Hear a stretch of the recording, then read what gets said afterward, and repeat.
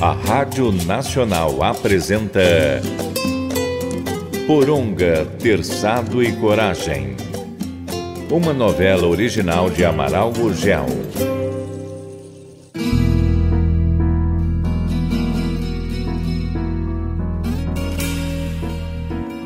A selva amazônica convida para a aventura.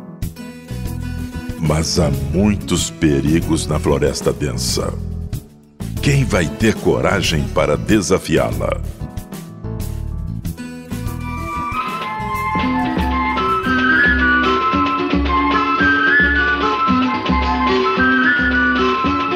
Não, nada disso, padrinho. Eu já falei com Cris. Almoçam aqui, depois o senhor vai cuidar de seus negócios e ela fica aqui à sua espera. Ah, se ela concordou. E também não acredito que o senhor tenha negócios a tratar com Luiz. Como não tem? Que negócios pode ter com ele? Ele está me devendo e eu vou cobrá-lo. Como? Mas então o padrinho emprestou dinheiro a ele? Não, não emprestei. Mas podia ter emprestado se ele me pedisse. Mas se não lhe emprestou dinheiro, como pode ele estar devendo? Hum, cabecinha de usurária. Então é só dinheiro que uma pessoa pode dever? Theo, tu me disseste que tinhas negócios a tratar com o rapaz, mas não me falaste em cobrança. Não te lembras que encomendei a ele uma paisagem? Uhum. Queria que pintasse um trecho qualquer deste rio que nos serve. Realmente, e ele mostrou aquele trecho onde existem pés de paus, sem ramos, sem folhas. A arte não pode ser condicionada. Precisa ser espontânea. Feita no momento em que o artista sente a inspiração. Olha, desculpe, padrinho, mas o, o, o senhor pagou adiantado? Eu, eu quis pagar, mas ele não aceitou. Nem mesmo quis discutir o preço. Ah, E se depois de pintar o quadro ele cobrar uma fortuna pelo mesmo? Ah, ele não fará isso, eu tenho certeza. Mas se ele não recebeu adiantado, como pode o senhor cobrar o trabalho? Esse rapaz está passando por uns tempos difíceis. Uhum. Ainda não aceitou a ideia de perder a mulher. Mas se começar a pintar, irá esquecer as mágoas passadas. Eu sei como são os artistas. Fez bem então, padrinho. Ó, aí vem o Beto. Vamos deixá-los conversando. E você, Cris, vem comigo.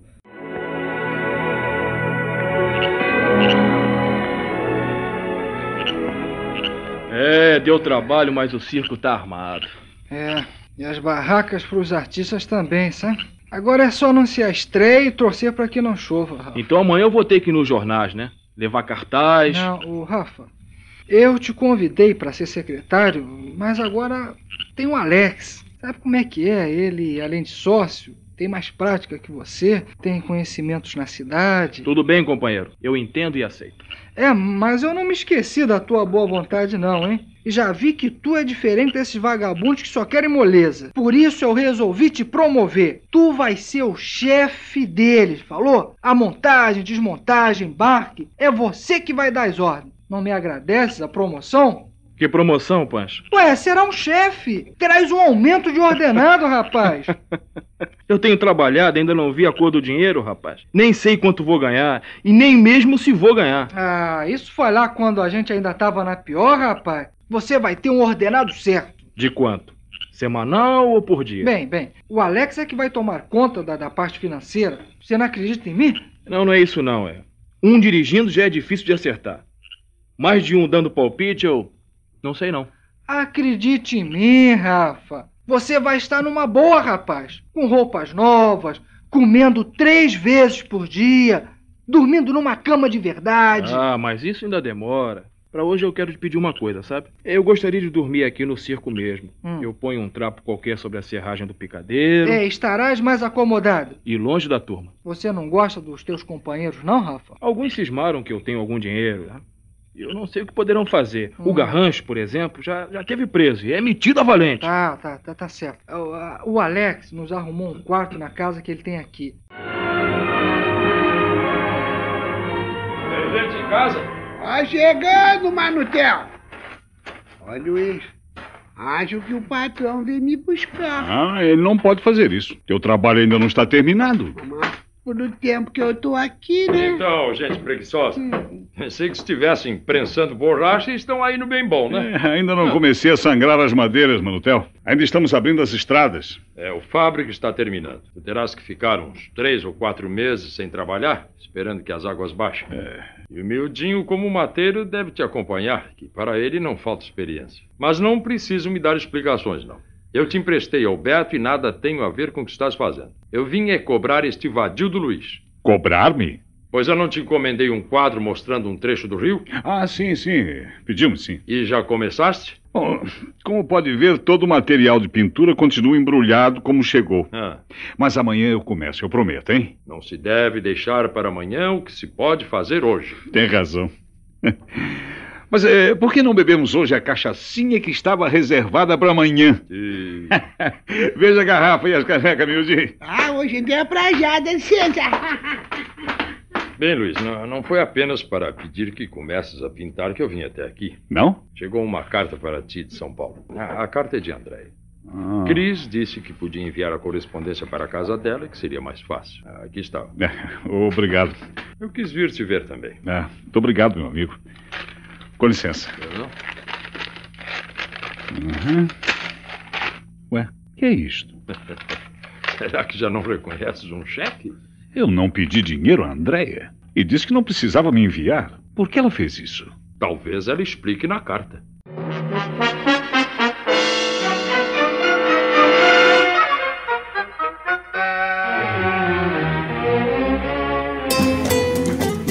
Estamos apresentando Poronga, Terçado e Coragem.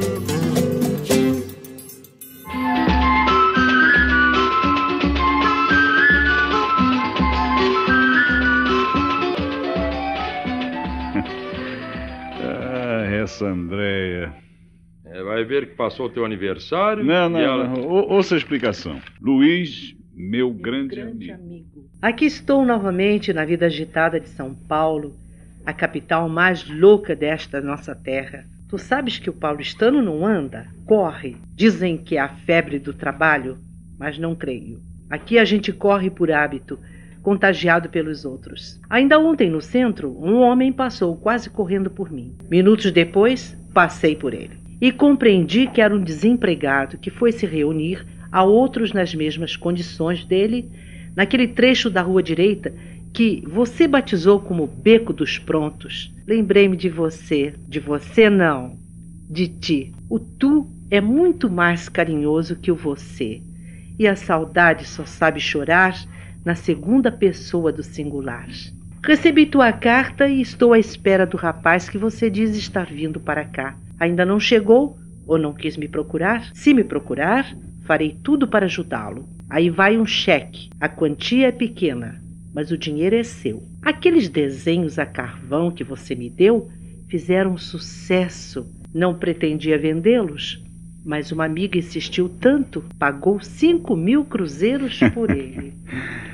É, as amigas granfinas de Andréia. O, resto é muito pessoal. Desculpem. Ah. Estás vendo quanto dinheiro estás perdendo? Não estou perdendo, só estou deixando de ganhar. Hoje eu acho que é a mesma coisa. Aquilo que a gente perde, sente-se. O que não se quis ganhar é porque andamos fazendo outra coisa qualquer e bem melhor. Bom, mas não, não fica aí com a garrafa debaixo do braço e as canecas nas mãos. Sirva logo, vamos. Tá, ó, pode beber, patrão, que essa é da boa. Mas eh, eu vou lhe pedir um favor. Entregue o cheque ao Beto. Ele fará o assentamento no meu crédito. Ah, entregarei hoje mesmo. O quê? Hoje? Mas peraí, patrão, já tá escurecendo. O senhor não vai viajar de noite. Vou que a Cris está me esperando no barracão do Beto. Além disso, tenho um farol na proa de minha canoa. Se não tivesse, pedi a tua poronga emprestada para iluminar as águas. Aí está uma coisa que eu desejo saber e talvez o Manutel possa me explicar. Pois pergunte. Poronga não é uma palavra portuguesa. O nome verdadeiro é porongo, masculino. Porongo é uma planta de cujos frutos se faz cuias para o mate. Ih, Pensei que só os gaúchos fossem amigos do chimarrão. No Peru também o mate é muito usado. E a palavra porongo é da língua quichua, que até hoje é falada no Peru. Como a armação que os seringueiros fazem para levar a lamparina. Tem o formato de uma cuia, deram-lhe o nome de poronga. Se algum dia eu viajar pelas terras que falam espanhol, Eu vou deitar a falação. É, mas não invente de falar sobre isso na Argentina, não, hein? Poxa, não é por quê? Bom, no linguajar popular tem outro significado. Bem, Luiz, tua curiosidade está satisfeita. Agora aos negócios. Quando me entregas o quadro que te encomendei? É um pouco de paciência, Manutel, e é bem possível que eu te leve não uma, mas duas ou três telas. Só pagarei a que encomendei. Pagará pelo menos duas, isso eu garanto. Tá certo, está certo. Então, mãos à obra. Cris, logo depois do café iremos para casa. Sim. Beto não nos deixou partir ontem. Ai, foi até bom. Eu não gosto de navegar à noite. Eu conheço este rio como a palma de minha mão. Eu sei disso. Então, Fosse um barco pesado, eu não teria receio. Mas numa canoa leve, com motor de rabeta, é tão segura como um barco. é possível. Mas agora temos que partir. Uhum. Eu fora. O Mildinho também lá com o Luiz. Ninguém ficou tomando conta do depósito. Eu estou pronta e poderei partir quando tu quiseres. Madrugou, Esther? Que- quem está aí? Não tá me conhecendo? Ah! Ai, Rafa, que susto tu me pregaste. Veio pra praticar Não, é, eu vou tomar um banho no rio. e precisava passar pelo circo. É, lá na barraca das mulheres mal se pode se mexer. Eu trouxe maiô pra vestir aqui. se você não me desse bom dia, eu ia tirar a roupa sem saber que estava me olhando. Pois fica à vontade, eu, eu, vou- eu vou lá pra fora. Não, não, não. Não é preciso, não. Eu vou me trocar ali atrás da cortina. Eu já tava de saída mesmo. Esperar eu vou com você. Bom, tu sabe onde se arrumou pra cozinhar, né? Oh, bom dia, Rafa. Chegou na hora que acabo de fazer o café pra turma que não demora começa a se levantar. Ah, então dei sorte, que vou tomar um café fresquinho. Tu se levantou muito cedo, hein, Rosa? Eu não sou como a Esté que só abre os olhos quando o sol bate na lá nela, né? É, pois hoje acho que ela se levantou primeiro que tu. Será? É, entrou lá no circo pra vestir uma roupa de banho. Eu tava acordado e quando falei com ela, ela se assustou. Fingimento dela, Rafa. Ela fez de propósito para te provocar. Ela sabia que tu dormiu no pavilhão e a nossa barraca tem espaço de sobra. E logo que tu chegou, ela te viu moço, forte e já viu, né? Marcou. É, meu filho, não faz muito tempo que conheço ela, mas já sei muito bem quem é. Tome cuidado, Rafa, que quando tu perceber, ó, Comigo não vai conseguir nada não. Respeito muito o Pancho. não tô falando por ele, não, mas porque tu é da minha gente e quero te proteger. Agora, a Esté, Quem aquela. que tem eu, Rosa? Vamos? Pode terminar de dizer.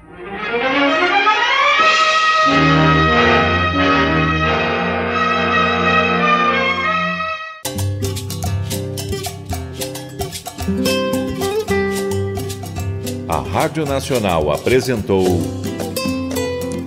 Coronga, Terçado e Coragem. Uma novela original de Amaral Gurgel.